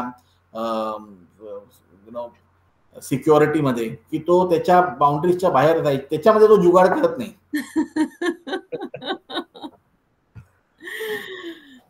ट्रू ट्रू व्हेरी ट्रू नाही परफेक्ट परफेक्ट डॉक्टर याच्या संदर्भात एक सर मला एक मला जस्ट आता सुचलं जस्ट टॉकिंग अबाउट दिस याच्या आधी तुम्ही एक मुद्दा मला सांगितला होता की I think with your repository of twenty thousand cases and I mean I am thinking like an entrepreneur I am entrepreneur myself you know uh, the critical care patients of 1400 or 8000 uh, patients you have handled या सगळ्यांचा आपण जर data जरी collect केला की you know what were the earlier state what they did and how they came out of that that will become actually a, a, a very prized resource for a global doctors actually in this pandemic झालंय ते already published आहे तो data ते published आहे. झालंय ते publish one more one more publication which I am I am little proud of is तुम्हाला माहिती असेल की मागच्या वर्षी म्युकर मायकोसिसची Oh, भयंकर एक yes. यु नो yes साथ म्हणता येणार नाही because it's not a communicable disease but we had several cases of mucormycosis across india across India आणि हे जे चौदाशे पेशंट आपण म्हणताय आयसीयूचे आणि आठ हजार फोर्टीसचे I कोविडचे think these mucormycosis cases were only in ICU, sir. If I'm not rem- if No, I'm no. not wrong, across India. ते actually once you are diagnose with mucormycosis you have to be in ICU असं झालं Okay, okay. So they got all admitted to ICU पण out of those eight nine thousand patient आमचे we have zero mucormycosis we managed our patients in such wow. a way that we had zero mucor and I published that data Beautiful. in in, uh, in a metabolic and diabetes journal. And main त्याचा cause is sugar control sugar sugar control कारण सगळ्यांना steroid मिळायची आणि sugar control was not very apt त्याच्यामुळे मग म्युकॉर मायकोसिसचा growth why anyways in India the incidence of mucormycosis almost ten times of rest of the world ते पहिल्यापासूनच आहे असं काही नवीन नाही आहे ते त्या काळामध्ये शुगर इतकी पुअरली कंट्रोल असल्यामुळे फार लोकांमध्ये झालं. त्याच्या संदर्भात डॉक्टर तुम्ही आता दोन तीन मुद्दे सांगितले की एंटरप्रेनर्स तर आहेतच आहेत डॉक्टर्स आता त्याच्यात मध्ये कशी एक ते थिन लाईन आहे ना की you look medicine or doctor as a profession may business म्हणून बघता का त्याला एक नोबेल प्रोफेशन म्हणून बघता? तो एक वेगळा डिस्कशनचा पॉइंट आहे. पण coming back to quickly air ambulance project now we have noted that down I I was making सहज बोललो त्याला नाही नाही. ते ते होऊन जाईल त्याचे दॅट ऑफ बिग हे. Abhijit knows we have got a network ते ते होऊन जाईल दॅट सॉर्ट ऑफ प्रॉब्लेम ते आम्ही करू. आता एक फक्त की मराठी लोक अजूनही डॉक्टर काय होतंय की जे आम्हाला आता या गरजे मराठी ग्लोबल किंवा आमचा एक दुसरा UK based Marathi business network आहे जे गेले पाच वर्ष आम्ही चालवतो मित्र इथं. तर मराठी लोक आहे ना अजून पुढे येत नाहीत. तर त्याच्याकरता तुमच्या आता ऑस्ट्रेलियातला किंवा युके इंडियातला त्याच्यानंतरचा अनुभव आणि आता तुम्ही व्हिजिटिंग आहात. तर काय करावं काय होतं माहिती का की बिझनेसेस जरी करत असले ना किंवा प्रोफेशनमध्ये पुढे येत नाहीत ते. So what needs to be done जसा तुम्ही वेगवेगळ्या सोसायटीजमध्ये यु नो वेरियस बॉडीजमध्ये इन्व्हॉल्व आहात. You are holding prominent post you are writing papers you know journals you are publishing हे कुठं त्यांना कसं आम्हाला एक चिंता नाही पुश कसं करायचं त्यांना? बरोबर. नाही पुश पुश हा फार मोठा प्रॉब्लेम आहे. आणि त्याच्यामागे यु नो मूळ मूळ स्वभाव जो आहे तो कंटेंट राहण्याचा स्वभाव आहे. फार लवकर कंटेंट होतो मराठी माणूस. दॅट इज द प्रॉब्लेम आणि साधारण त्यांच्या गरजा सुद्धा फार कमी असतात. म्हणजे फार आपल्या एक्स्ट्रा वेगंट लाईफस्टाईल आणि याच्या गरजा नसतात आपल्या बहुतेक मराठी माणसांच्या. म्हणजे घर आहे रोजचं रोजचं आपलं काम चांगलं आहे थोडंफार आपल्याला सेव्हिंग आहे. कंटेंट माणूस इज कंटेंट मग एकदा कंटेंट झालं की मग ती भूक राहत नाही ना पुढे जाण्याची. आय थिंक ते कळायला पाहिजे की तुम्ही स्वतः करता कंटेंट झालात परंतु तुम्हाला लोकांकरता अजून जॉब क्रिएशन्स करण्याकरता अजून लोकांची मदत करण्याकरता तुम्ही जर वाटचाल केलीत पुढे तर दुसरे लोक सुद्धा तुमच्या बरोबर जे आहेत पुढे अजून कंटेंट होतील. Content should not be just limited to yourself that is the big problem मराठीत स्वभाव आहे म्हणजे पुण्यात जोक असतो ना बाजूच्या काय होतं मला काय करायचं? असं पुण्याचा एक जोक म्हटला जातो. मुंबईत सुद्धा मराठी माणूस तसाच आहे. फक्त मुंबईत मराठीला बाजूला मराठीच असेल असं नाही आहे त्यामुळे त्याला म्हणता येत नाही. त्यामुळे तो he is force to mingle with people in the society पण पुण्यामध्ये आणि जिकडे की फार मराठी लोकांची पॉप्युलेशन डेन्सिटी जास्ती आहे स्वभाव अजूनही तसाच आहे. आपण आपल्याशी काम करावं. बाजूचं काय होतं आपल्याला काय प्रॉब्लेम आहे? फार कमी आपण शेजार धर्म जो आहे तो म्हणजे शेजार धर्म हा येणं जाणं बोलणं ह्याच्याबद्दल बोलत नाही मी. परंतु एखाद्याला मदत करणं त्याच्या एखाद्या बिझनेसला ग्रो करायला मदत करणं हे फार कमी लोक करतात. त्यामुळे we have to be pushing each other yes sir just to stretch your last point we have to be pushing each other कसं आहे की आता I know many of my friends some of them are exceptional you know programmers in artificial intelligence machine learning these new age tools you know in fact some of them are developing programs for military drones and you know some army application cut absolutely cutting edge programs तर मला आता तुमचं ही just journey बघून म्हणजे माझ्या डोळ्यासमोर तो डेटा दिसतोय सगळा. You know the kind the wealth of data you have sir i mean most of it i know it must be published uh, at, at so many places. पण असा कुठला अंतरप्रेनर ज्याला मी त्याचा तर बाकीच्या आय टी स्किल्स यूज करून तुमच्यासाठी काही एक ऍप्लिकेशन डेव्हलप करायचं असेल किंवा तुम्हाला जर काही गरज तुम्हाला वाटत असेल एक ॲज अ नीड की मला हे काही गोष्टी ऑटोमेट करून पाहिजे तुम्ही इको कार्डिग्राम म्हटलं तर पटकन ईसीजी रीड करण्यासाठी काही एक ऍप्लिकेशन कोणी बनवलं की okay if it can be you know done on a A I and machine learning platforms how is is that a challenge or is that welcome in welcome माझ्या डोक्यात कल्पना आहे पण मला करायला वेळ नाही आणि करणारा माणूस नाही मी तुम्हाला एक सोपी गोष्ट उदाहरण देतो. शुअर समजा वीस हजार कोविड पेशंटचा मी हार्ट रेटचा डाटा तुम्हाला दिला. Heart rate just heart rate right from admission to discharge आम्ही त्याचा हार्ट रेट आवरली मॉनिटर केलेला आहे. आणि if somebody is able to put it in a program and then he knows which patient did well and which patient did not do well. Absolutely. And at what point was that transition in the heart rate? आणि आपण तो जर उद्या पल्सॉक्सिमीटरमध्ये टाकला आणि पल्सॉक्सिमीटरचा heart rate जर असा trend दाखवत असेल तर you need to go to hospital एवढं जरी ते पल्सॉक्सिमीटर सांगू शकलं तरी आपण जीव किती तरी वाचवू शकतो हे सिंपल आर्टिफिशियल इंटेलिजन्स आहे. कोणी करू शकत नाहीये. मी एक पाच वर्षापूर्वी एका आय आय टीच्या मुलांना दोन मुलं माझ्याकडे आले होते पीएचडी करायला. ते लोक पीएचडी करत होते. ते वेर एक फिटबीट नावाची गोष्ट ते ट्रायल करत होते. They had made a Fitbit they wanted to sort of correlated with our ICU monitor मी त्याला म्हटलं मला एक पाच हजार रुपये म्हणजे सिरिंज पंप बनवून दे. सिरिंज पंप माहिती आहे तुम्हाला? सिरिंज म्हणजे इंजेक्शनची सिरिंज असते. ते मी पंपला हो. लावतो. हो. आणि मग ते per per M L per hour एक इंजेक्शन देत राहतं. तुम्हाला माहिती आहे आज सुद्धा भारतामध्ये मुंबईच्या बाहेर गेलात तर नव्वद टक्के हॉस्पिटल ड्रॉप रेटवर कॅल्क्युलेट करतात per hour they are not calculating it in with a syringe pump आणि one of the reason is syringe pump हा सत्तर ऐंशी हजाराच्या वर चालू होतो. आणि त्याच्यात काय लागतं मला कळत नाही त्या सिरिंज पंपमध्ये की एवढा का महाग असावा करून सत्तर ऐंशी हजाराचा. आणि का आपण एक पाच दहा हजारामध्ये सिरिंज पंप नाही बनवू शकलो पाहिजे आणि तो जर बनवला तर एखादा एंटरप्रेनर जो आहे तो करोडोंनी विकेल लाखांनी सुद्धा नाही. आणि त्याची सगळी जेवढी मेहनत आहे ती निघून येईल बाहेर.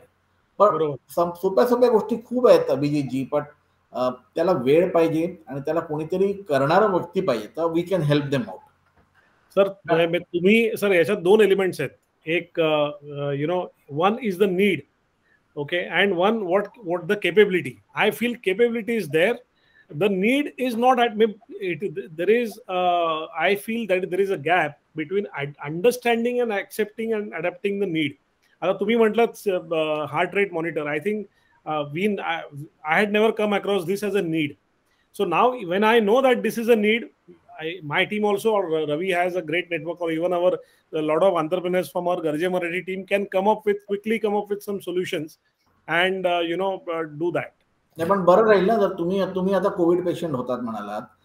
तुम्ही जर घरी असं तुमच्याकडे पल्स ऑक्सिमीटर असेल जे म्हणाल की now you need to go to hospital you can stay at home with artificial how difficult can it be all it need is ten twenty thousand patient data to be fed in आणि trends to be analyse program be return for that absolute sir आम्ही एक I am developing a program for you know it's a military program basically तो एवढा complicated आहे. म्हणजे त्याच्यासमोर आता तुम्ही जे म्हणताय मला तर that seems to be very doable it is not something which is undoable need आहे ग्लोबली नीड आहे. आणि भारतातच नव्हे भारताच्या बाहेर सुद्धा आफ्रिकन कंट्रीज झाल्या एशियाच्या दुसऱ्या कंट्रीज झाल्या. इथले की हेल्थ केअर खरोखर एवढं आपल्याकडे तरी टेली आयसीयू आहे टेलिमेडिसिन आहे. नेटवर्क फोनचा फार चांगला आहे आपण कनेक्ट होऊ शकतो लोकांबरोबर. बाकीच्या जागी एवढं अजून डेव्हलपमेंट झालेली नाहीये. Wonderful. Dr. Ji, uh, I would like to ask one single uh, chota sir related to this point, specifically when uh, BGGs have pointed out a very beautiful aspect of AI.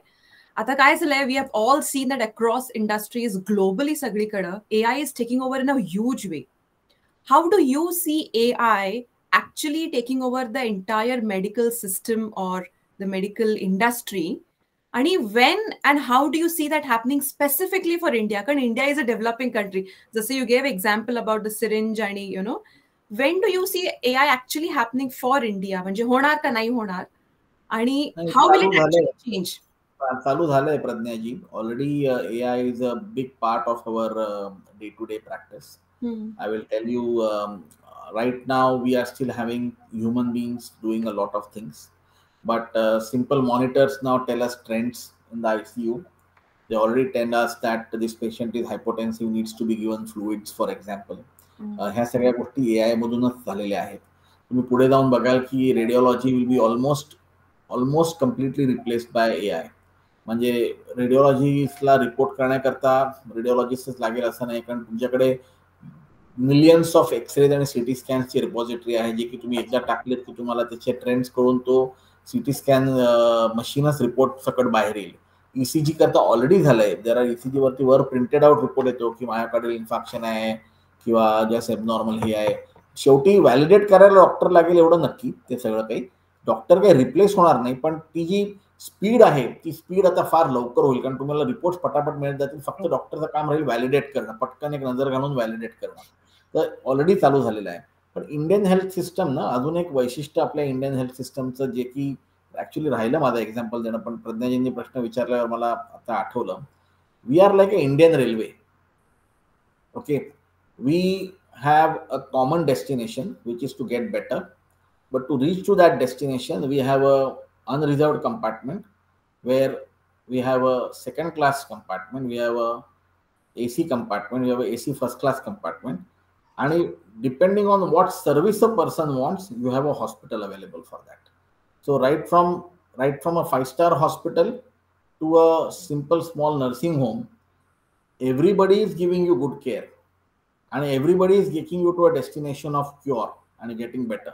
आणि त्या कंपार्टमेंटला धरूनच आपल्याला पुढे चालायला लागणार आहे we will not be able to replace that Indian railway compartment model तो ज्याला ज्याला बेचाळीस इंचाचा स्क्रीन हवा असेल while is recovering from his gall bladder surgery he can come to a hospital like ours पण तीच गॉल ब्लॅडर सर्जरी एका छोट्या नर्सिंग होममध्ये तेवढ्याच चांगल्या रीतीने होते. त्याला टीव्ही नसेल मे बी त्याच्या आजूबाजूला दोन पेशंट अजून असतील पण तो तेवढाच चांगल्यापैकी बरा होऊन जातो. हे वैशिष्ट्य आहे आपल्या मॉडेलचं अदरवाईज मी ऑस्ट्रेलियन सिस्टम बघितली आहे युके सिस्टम बघितली आहे. इमर्जन्सी करता फार चांगली आहे. पण एक साधं जीपीची अपॉइंटमेंट घ्यायची किंवा स्पेशलिस्टची घ्यायची म्हटलं तर दोन महिने थांबायला लागतं आज आपण स्पेशलिस्टला फोन करून डायरेक्टली ऍक्सेस करू शकतो our health care is much more mature in a in a unorganised way but we are much more mature agreed agreed i will definitely second that dr rahulji having lived for 10 years in in uk i definitely आणि म्हणून this might be off the line but i came back to india for my second pregnancy that was one of the reasons पण yes thank you thank you so yes Abhijit you want share something नाही मला एक फक्त I am just looking at the time schedule आणि सरांचा एक खूप important programme आहे नीती आयोग. दहा मिनिटं घेऊ शकतो आपण. Okay six thirty if you can finish that will be good sure sure sure sure Perfect. So, Ravi, you want to take uh, the the next part where uh, uh, we talk about the COVID battle and COVID journey. तो एक section राहिला होता sir तुमचा. Of course lot of things have you have covered already वगैरे आमचे काही आहेत. आमच्या प्रेक्षकांचे आणि आमच्या सगळ्यांचे. तर डॉक्टर आता कोविड मधनं असं दिसायला लागलंय की दूरवर की आपण आता त्यांना बाहेर म्हणजे जगात ओव्हरऑल बाहेर पडतोय. तर पोस्ट कोविड हेल्थ केअरकडे आता अवेअरनेस खूप वाढलाय. तर पोस्ट कोविड आणि specially because it has affected the lungs and hearts आणि नो तर आता लोकांनी त्यांच्या लाईफस्टाईलमध्ये बदल करणं कशा प्रकारचं पोस्ट कोविड कारण आता हे कायमचं दुखणं असल्यावर काय पण ते जाणारही नाही पण we have to live with तर त्याच्याकरता तुमच्या अनुभवातलं तुम्हाला काय वाटतं की लोकांनी आता काय मोठ्या मोठ्या प्रमाणावर COVID has made a quantum change okay actually COVID हा एक गुरु आहे. आपल्याला बऱ्याच गोष्टी शिकवून गेला. लाईनीत उभं राहायला शिकवलं आपली वेळ टर्न येतपर्यंत थांबायला शिकवलं हात धुवायला शिकवलं स्वच्छ राहायला शिकवलं आपली आजी आई आई जे म्हणायची की घरात आल्यावर हातपाय धुते करायला शिकवलं आंघोळ करायला लागलो आपण हातपाय तर जाऊ द्या. तो बऱ्याच गोष्टी कोविडने आपल्याला जे आपले पूर्वज जे सांगायचे ते आपण आता नॉर्मल करायला लागलो आणि आपल्याला आता ते म्हणायला लागलो की कोविड प्रोटोकॉल आहे. म्हणजे पंचवीस वर्षापूर्वी माझ्या आजीचा कोविड प्रोटोकॉलच म्हणावा लागेल की घरी आल्याबरोबर म्हणायचे मला येऊन भेटू नको पहिले जा हातपाय धू मग आते करून. सर हेल्थकेअरमध्ये सुद्धा क्वांटम चेंज आलाय सर आता तुम्ही युके आणि ऑस्ट्रेलिया किंवा तुम्ही यू यू एसमध्ये जेवढं नसेल तेवढं हे ई कॉमर्स प्लॅटफॉर्म्सनी बऱ्यापैकी रिप्लेस केलं आता फार्मसीला तुम्हाला जायची ऑलमोस्ट गरजच नाही आहे यू कॅन ऑर्डर एनिथिंग आणि it will come to your home तसंच हेल्थकेअरमध्ये सुद्धा ना एक होम केअर हा आपल्यासारख्या देशांमध्ये फार मोठी गोष्ट होणार आहे. आणि even countries like U K आणि where health care is free will have to step out of the hospitals no longer will people be able to just wait in the emergency department for endless hours waiting for healthcare to be delivered to them simple healthcare to be delivered to them that will have to be taken to the doorstep of the people आणि I see in the next ten years आपण जे काय आज बोललो artificial intelligence बोललो त्याच्यानंतर आपण बोललो की एंटरप्रेनरशिप बघितलं या सगळ्या गोष्टी. ऑलरेडी ऑस्ट्रेलियामध्ये मी माझ्या एका एक इंडियन कलिगला ओळखतो ज्याने की रात्री नऊ ते रात्री बारा अशी ओपीडी चालू केली आहे एका क्लिनिकमध्ये जी की अनहर्ड होती ऑस्ट्रेलियामध्ये. पाचच्या पुढे तर डॉक्टर राहायचाच नाही म्हणजे जी पी त्याने नऊ ते बारा चालू केले आणि बाकीच्या वेळेस तो घरी व्हिजिट करतो. सो इट इज गोन टू हॅपन आणि आय थिंक कोविड कोविड आपल्याला बऱ्यापैकी ह्या गोष्टी करायला शिकवणार आहे. आणि दुसरी गोष्ट तुम्ही जे म्हणाल हेल्थ कॉन्शियस लोक बरेच हेल्थ कॉन्शियस झाले आहेत. सो सिंपल गोष्टी अगेन आपण जर बॅक टू बेसिक्स आपल्या जर गेलो तर आपला जो एक संतुलित आहार आहे थोडीफार जी एक्सरसाइज करायची गरज आहे शरीराला आठ तास झोप. I think one thing which I miss coming back from Australia to India is आठ तास झोप. आय डोंट रिमेंबर की लास्ट दहा वर्षामध्ये मला आठ तास झोपायला मिळालं ॲट अ स्ट्रेच म्हणजे मिळालं असेल एखादा पण on most nights I get a phone call on most nights I am awake I average sleep time of an average Indian is not eight hours any more most of them are sleeping only for six seven hours may be maximum so I think ह्या सगळ्या गोष्टींमध्ये आपल्याला कुठेतरी बदल आणावा लागणार आहे. आपल्याला आपलं आपली हेल्थकडे लक्ष द्यावं लागणार आहे. आपलं जर uh, ॲव्हरेज एज हे पंचेचाळीस पन्नास वरून आज जे सत्तरीकडे वाढत चाललंय ते जर आपल्याला सत्तरवरून ऐंशीकडे न्यायचं असेल तर या गोष्टी खूप गरजेच्या आहेत करणं. ज्या की बाकीच्या देशांनी केल्या आहेत. काय आपण एकदम बॉटमला असलो ना मग पटकन वर जातो. पण इथून इथे जायला खूप मेहनत करावी लागणार आहे. So that help to improve from here to here we will have to put in lot of effort आणि त्या पॉलिसी मेकिंगपासून चेंज व्हायला लागेल. फाईव्ह डेज वीक करावं लागेल. लोकांना सुट्टीचे महत्त्व सांगावं लागेल. आपल्याकडे असं नाही सुट्टी असेल तरी लोक काम करतात घरी. Which is a big problem growing कंट्रीजची एक नीड्स वेगळ्या असल्यामुळे people are not able to differentiate that line आणि they are compromising on their health is a big problem आणि स्ट्रेसफुल आणि मेंटल हेल्थवर आता जास्ती हे अवेअरनेस व्हायला लागलाय? स्ट्रेस व्हायला लागलाय. व्हायला लागलाय. व्हायला लागलाय. पण जेवढा हवा तेवढा अजून नाही आहे अजून सुद्धा त्याला तेवढं प्राधान्य दिलं जात नाहीये. मोठ्या शहरांमध्ये येस नक्कीच बरं आहे. परंतु tier two tier three cities आणि रुरल एरियामध्ये नॉन एक्झिस्टंट आहे. सो रुरल एरियामध्ये मेंटल हेल्थला आणि स्ट्रेसला काही फार महत्त्व दिलं जात नाही. पण मे बी रुरली तेवढं ते लोक तेवढे स्ट्रेसमध्ये पण नाही आहेत they are still living in a very different world the rural area the technology may have reach them in terms of connectivity पण बाकीच्या गोष्टी त्यांच्या मोर ऑर लेस सेमच आहेत. सर एक मला याच्याच लिंकेज मेंटल हेल्थ आणि एक आवर प्रॅक्टिसेसवरती एक मला जस्ट एक क्वेश्चन विचारायचं होतं. May be that will be my last question sir yoga आणि द होल प्राणायाम आणि बाकीच्या ज्या माइंडफुलनेस आपल्या ज्या इंडियन पद्धती आहेत त्याच्या बाबतीत तुमचा एक्सपिरियन्स काय राहिला आहे आणि तुम्ही ते कसं पुढे पुढच्या गोईंग फॉरवर्ड जर्नीसाठी तुम्ही काय गाईड कराल? आणि सेकंडली काही योगिक प्रॅक्टिसेस म्हणजे ज्याच्यामध्ये नेझल वॉश जलनीती आपण ज्याला म्हणतो किंवा गार्गलिंग म्हणतो की how these will help you know in this COVID pandemic do they have any preventive or therapeutic use and uh, you know uh, should we also look at that I'm and sure. also do something uh, you know else to prevent uh, any further variants to attach us i'm sure uh, they have some uh, usefulness हे ज्या जलनीती वगैरे I am not an expert in that पण unfortunately इंडियामध्ये त्याचं अति झालं. आणि त्याच्यामुळे ऍक्च्युली नुकसान झालं. आणि हा म्हणजे बऱ्याच लोकांनी दोन दोन तीन तीन वेळा जलनीती इतके गार माझी वाईफ एन टी सर्जन आहे. गरम पाण्याने भाजलेले घसे तिने बघितलेले आहेत. लोकांनी वॉर्म वॉटर गार्गल्स करत करत म्हणजे they have literally parch their throats with with hot water असं पण झालेलं आहे. आणि काढा वगैरे ह्या सगळ्या गुण प्रत्येक गोष्ट प्रमाणात त्याचं काही ना काहीतरी मेडिकिनल मेडिसिनल व्हॅल्यू नक्कीच असेल. पण आपण जेव्हा त्याला अति करायला लागलो तेव्हा त्याचा ॲक्च्युली हार्म व्हायला लागला. योगिक प्रॅक्टिसेस ज्या आहेत ना they all revolve around one which is talk to your body you need to so yoga जरी म्हणाल it is talk to your body you talk to your body the body will automatically start doing things what you want of course it will take time it will take time to maybe uh, maybe um, able to able to do a certain asan. पण ते करता येईल तुम्ही जर talk करत राहिला तुमच्या शरीराशी तर तसंच प्रत्येक गोष्टीत आहे. तुम्ही तुमच्या बरोबर जर टॉक करत राहिलात तर तुम्ही बऱ्याचशा गोष्टी सहजपैकी करू शकतो. At the end of the day माणूस घरी गेला आणि झोपला आणि जर दहा सेकंदात झोप येत असेल तर तो सुखी आहे. कुठलाही योगा वगैरे काही करायची गरज लागत नाही.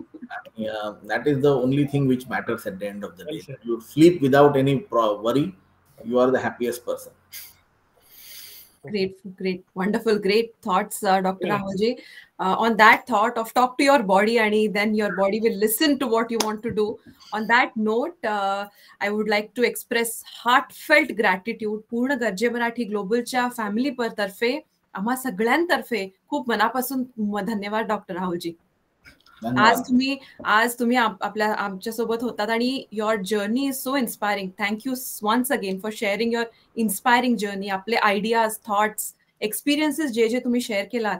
Those are really really absolutely invaluable आणि ग्रेट आणि आय एम व्हेरी शुअर आमच्या ऑडियन्सेसना याच्यापासून खूप लर्निंग मिळणार आहे. So thank you so much once again for being with us quickly doctor एकच सांगतो. हा जर्नी इथं संपत नाही. द वे वी वर्क गरजे मराठी प्लॅटफॉर्म अभिजितला माहितीये प्रज्ञाजींना माहितीये. मी चॅलेंज दिलंय आपल्या प्लॅटफॉर्मला हा this is just start doctor Abhijit ji? मी सतत तुमच्याकडे येत राहणार आणि वेगवेगळ्या फोरमवर तुम्हाला एंगेज करत तुमचे काही प्रोग्राम्स असतील तुम्हाला काही करायचं असेल आवर प्लॅटफॉर्म इज ओपन आणि आम्ही मात्र आमच्याकडनं सतत येत राहणार. तुमच्याकडे मदती करता आणि त्याच्यातनं सुटका नाहीये. नको आणि नको सुटका ती. Thank you thank you doctor thanks a lot thank you thank you Ravi ji आणि thank you thank you Ravi ji आणि Abhijit ji for being wonderful co host thank you thank you thank you Pragya